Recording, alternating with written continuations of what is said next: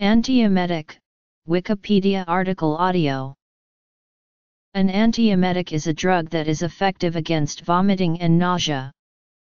Antiemetics are typically used to treat motion sickness and the side effects of opioid analgesics, general anesthetics, antipsychotic medication, and chemotherapy directed against cancer.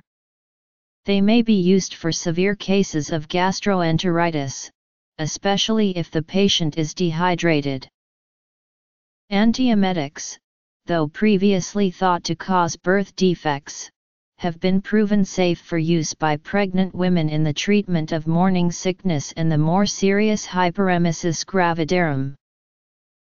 Types Antiemetics including 5-HT3 receptor antagonists block serotonin receptors in the central nervous system and gastrointestinal tract.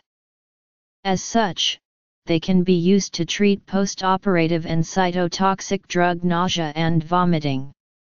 However, they can also cause constipation or diarrhea, dry mouth, and fatigue. Dolasetron can be administered in tablet form or in an injection. Granisetron can be administered in tablet, oral solution, injection D, or in a single transdermal patch to the upper arm. Ondansetron is administered in an oral tablet form, orally dissolving tablet form, orally dissolving film, sublingual, or in an 4-IM injection. Tropisetron can be administered in oral capsules or in injection form.